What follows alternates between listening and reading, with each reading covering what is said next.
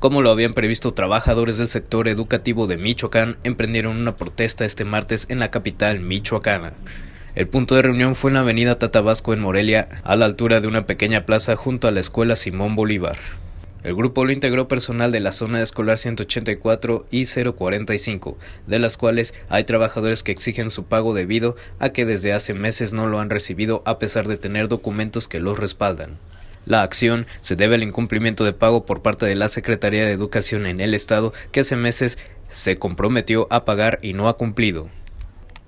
La mañana de este martes, padres de familia y maestros se encontraron haciendo bloqueo en la avenida Tatabasco para exigir se les asignen maestros para la escuela primaria Simón Bolívar.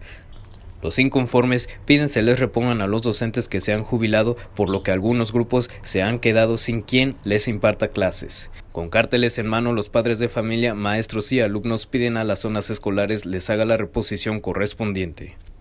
Minutos después, el grupo de operaciones especiales se dio cita para resguardar la manifestación y así evitar más bloqueos en las calles aledañas.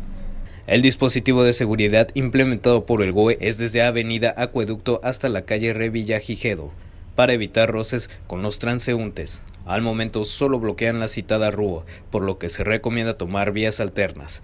Cabe resaltar que los inconformes solicitan dialogar con el subsecretario de Educación Básica, Erika Alejandro, y el director de primarias.